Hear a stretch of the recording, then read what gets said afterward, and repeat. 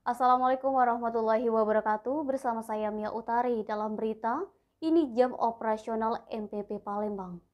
Jam operasional Mall Pelayanan Publik Kota Palembang mulai dari pukul 9.00 waktu Indonesia Barat sampai 13.00 waktu Indonesia Barat selama bulan Ramadan 1444 Hijriah.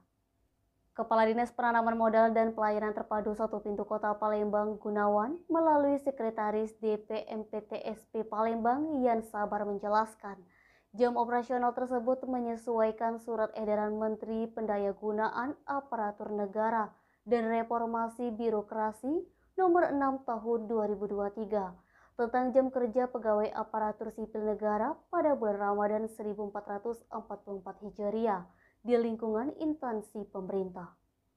Hal itu dalam rangka menjamin keberlangsungan penyelenggara, pemerintah, dan aktivitas pelaksanaan tugas kedinasan pegawai ASN di lingkungan instansi pemerintah, baik instansi pemerintah pusat maupun pemerintah daerah selama bulan Ramadan 1444 Hijriah.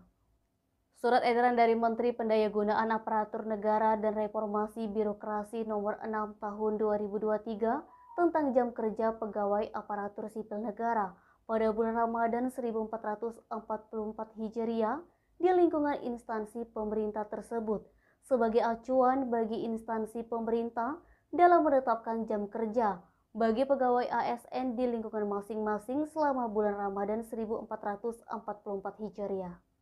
Untuk itu, bagi masyarakat Palembang yang membutuhkan pelayanan di DPMPTSP, silakan datang pada jam operasional tersebut.